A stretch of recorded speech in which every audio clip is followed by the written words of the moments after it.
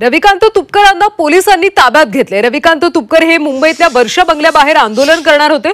शेतकऱ्यांच्या विविध मागण्यांसाठी तुपकर वर्षावर आंदोलन करणार होते. मात्र त्याआधीच त्यांना मुंबई पोलिसांनी ताब्यात घेतलं. त्यामुळे वर्षावरचं आंदोलन आता होणार नसल्याची माहिती आहे.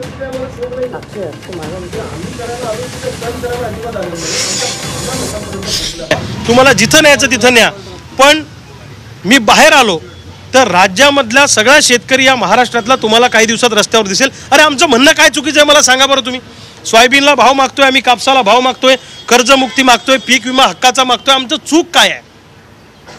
अशा पद्धतीनं तुम्ही जर का पोलीस कारवाया करून आमचा आवाज दाबत असाल तर याची किंमत या सरकारला चुकवावी लागेल.